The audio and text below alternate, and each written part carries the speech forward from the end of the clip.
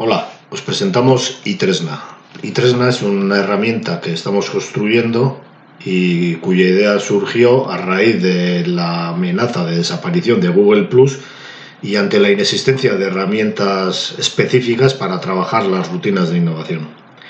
Se trata de una herramienta abierta eh, a cualquier tipo de organización, ya que cada organización puede definir cuáles son los espacios y cuáles son las COPs de cada espacio que necesita trabajar. Vamos a entrar, por ejemplo, con el usuario de Churdínaga y veremos que tenemos definidos los tres espacios que conocemos, rutinas de observación, rutinas de portafolio, rutinas de explotación.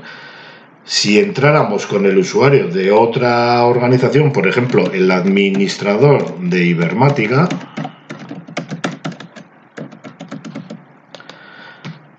veríamos que en Ibermática tienen definidas cinco espacios en lugar de tres, en cada uno de ellos tienen sus COPs, etc.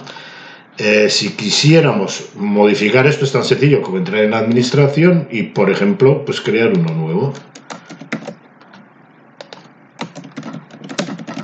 Nuevo espacio, nueva alta, creado. Si vamos ahora a i3, veremos que este nuevo espacio está creado, ¿de acuerdo? Se puede poner en el orden que queramos, etcétera.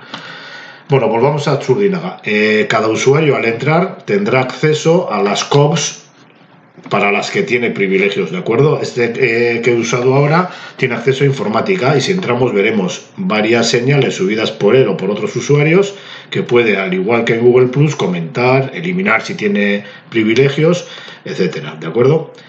Eh, teníamos que resolver una cuestión que es la de los preproyectos y proyectos en curso. Entonces, lo que hemos hecho es que para cada espacio se puede indicar si, si los elementos de sus COPs son evaluables.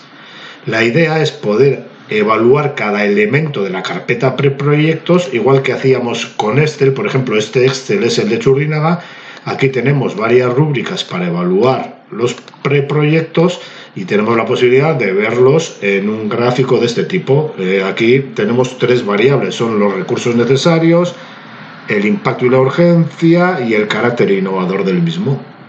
Esto es lo que vamos a construir aquí.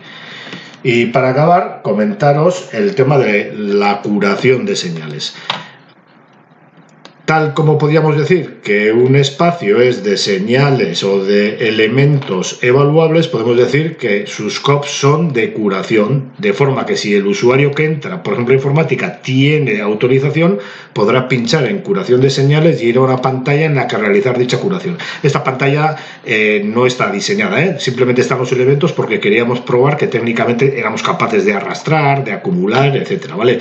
La idea es que aquí arrastramos señales a modo de post-it que podemos ir acumulando en listas, por ejemplo, esta le Big Data y podría arrastrar pues esto del COVID-19, que no es Big Data, pero bueno, esta otra, esta otra, ¿sí? Y una vez tenidas agrupadas y realizada la curación, diríamos, esto va a la papelera, esto lo dejamos como está o esto va a señales relevantes. Esas tres señales, rellenando aquí el título que quisiéramos, daría lugar a una entrada, eh, no lo voy a hacer ahora, daría lugar a una entrada en la COP señales relevantes, que es esta que hemos visto aquí y que se genera automáticamente cuando decimos que el espacio es de curación de señales.